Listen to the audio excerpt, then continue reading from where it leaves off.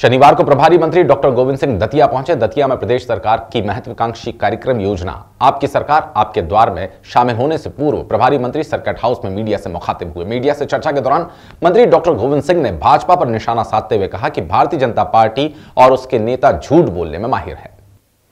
उन्होंने कहा कि प्रदेश की कमलनाथ सरकार ने प्रदेश के किसानों का कर्जा माफ़ कर दिया है और दतिया के भी किसानों का कर्जा माफ़ किया जा चुका है, तथा जो किसान कर्ज माफ़ होने से रह गए हैं, उनकी कर्ज माफ़ी प्रचलन में है। प्रजातंत्र में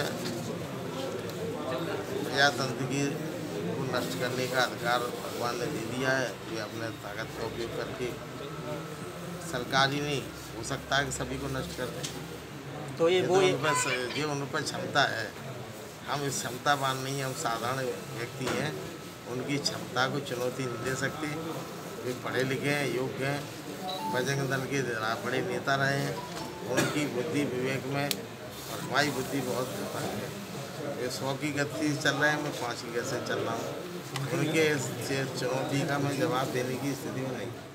उन्होंने भाजपा पर निशाना साधते हुए कहा कि भारतीय जनता पार्टी इस बात का पचा नहीं पा रही है कि प्रदेश के किसानों का कर्जा माफ़ किया जा चुका है। प्रभारी मंत्री ने दतिया का आधिकारिक आंकड़ा प्रस्तुत करते हुए बताया कि ज़िले के बाईस हज़ार किसानों का 26 करोड़ का कर्ज माफ़ किया जा चुका है और बाकी किसानों का भी कर्ज माफ़ किया जाने वाला है। वहीं प्रभारी मंत्री ने विगत दिवस घंटा नाद आंदोलन को लेकर कहा कि भाजपा के नेता और शिवराज अब घंटी ही बजाएँगे। पर अब लगातार शिवराज पाँच साल और आगे के लिए सरकार ने घंटा घंटी बजाए। जनता ने उनको इसी काम के लिए सड़क पर निकाल दिया तो घंटा बजाओ, कहीं घंटी बजाओ। इस दौरान कई कांग्रेस के नेता मौजूद थे।